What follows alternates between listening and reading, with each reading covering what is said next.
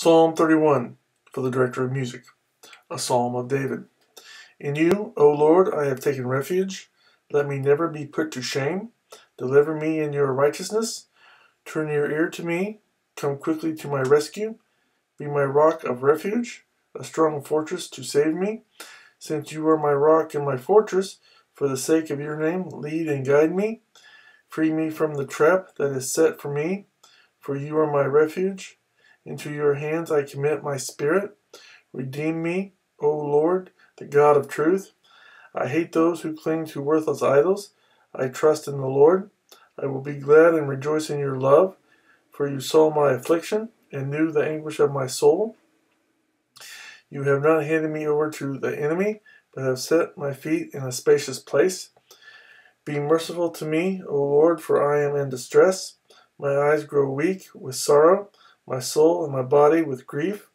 My life is consumed by anguish, and my years by groaning.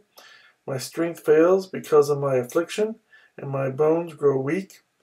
Because of all of my enemies, I am the utter contempt of my neighbors. I am a dread to my friends. Those who see me on the street flee from me. I am forgotten by them as though I were dead. I have become like broken pottery. For I hear the slander of many.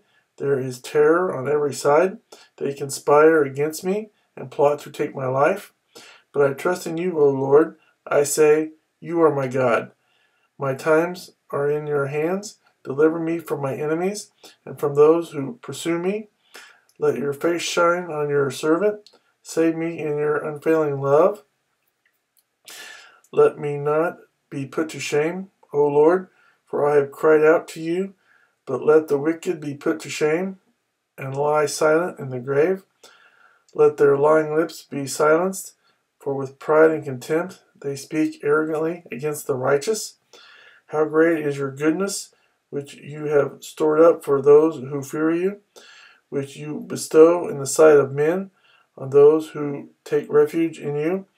In the shelter of your presence you hide them from the intrigues of men.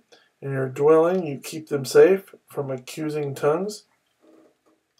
Praise be to the Lord, for he showed his wonderful love to me when I was in a besieged city. In my alarm I said, I am cut off from your sight. Yet you heard my cry for mercy when I called to you for help. Love the Lord, all his saints.